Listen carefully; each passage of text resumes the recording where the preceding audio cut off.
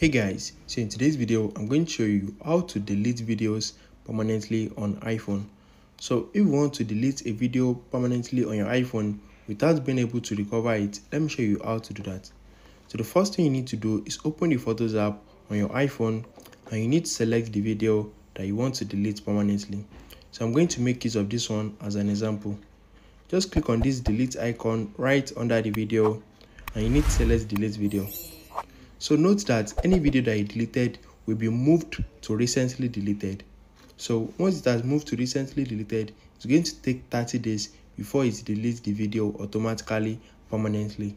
So in order for you to delete it right now without waiting for 30 days, just click on album and you need to scroll down. Once you scroll down, you are going to find recently deleted. Just click on that and you need to select the video.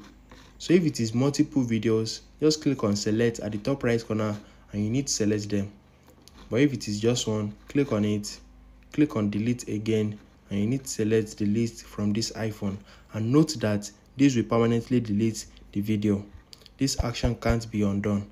Just click on delete from iPhone and that's it. You have permanently deleted the video.